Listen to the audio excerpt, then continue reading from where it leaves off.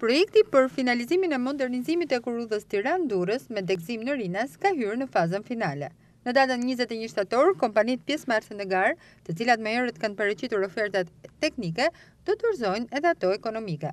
Banka Europiane për Rindërtim dhe Zhvillim, partnere në këtë proces, pas më shumë se gjashtë muajsh, ka dhënë miratimin për të kaluar në fazën e dytë të garës. Sipas njoftimit zyrtar të Ministrisë së Infrastrukturës, BERZH ka paraqitur qëndrimin e vet duke certifikuar fazën e parë të tenderit, i cili është kryer në janar të këtij viti, ku janë kualifikuar pesë kompani ndërkombëtare që paraqitën ofertat teknike të projektit. Në total, do të rikonstruktohet linja ekzistuese me një gjatësi prej tridhjetë e katër pikë pesë kilometra dhe do ndërtohet shtatë pikë katër kilometra rrugë e re hekurudhore midis Tiranës dhe aeroportit, Projekti parashikon modernizimin e linjës ekzistuese Tiranë-Durrës, si dhe ndërtimin e degëzimit të ri në aeroportin e Rinasit me një kosto prej nëntëdhjetë milionë euro, nga të cilat tridhjetë e gjashtë janë kredi nga BERZH, tridhjetë e pesë milionë janë grant i Bashkimit Europian, ndërsa pjesa tjetër do të financohet nga buxheti i shtetit.